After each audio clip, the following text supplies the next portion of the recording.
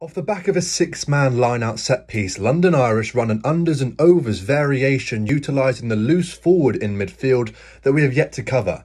The one out, double unders, single overs. Plenty of numbers out wide if they can make a tell. Finally, Arundell darts back inside.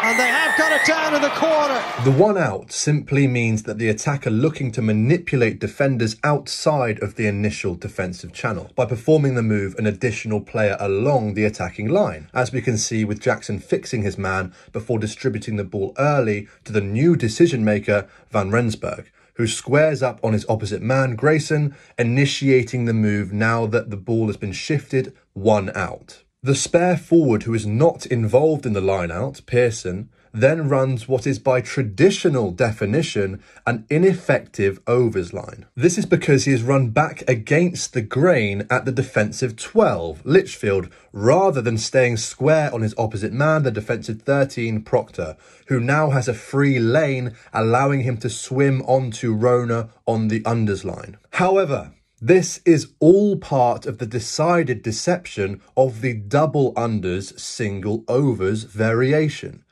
Because the defensive 12 is fixed by the ineffective overs line running back against the grain, the defensive 13 naturally shoots onto the unders line in an attempt to kill the attack behind the gain line, as you would expect and as London Irish have predicted. That then leaves a space for the blind side wing, Hassell Collins, to take on the hidden second unders line. Pearson times his line perfectly to not overrun the ball, allowing Van Rensburg the time to hold his feet and delay the pass long enough to draw out Proctor and create the space for Hassell Collins, executing the move perfectly. A really interesting variation of the traditional unders and overs play to exploit the typical vulnerability of an ineffective overs line. Here come London Irish. Plenty of numbers out wide if they can make it tell. Finally, Arundell darts back inside. And they have got it down in the corner. And perhaps there's light at the end of the tunnel for London Irish here. Will Joseph is just a few moments on the field.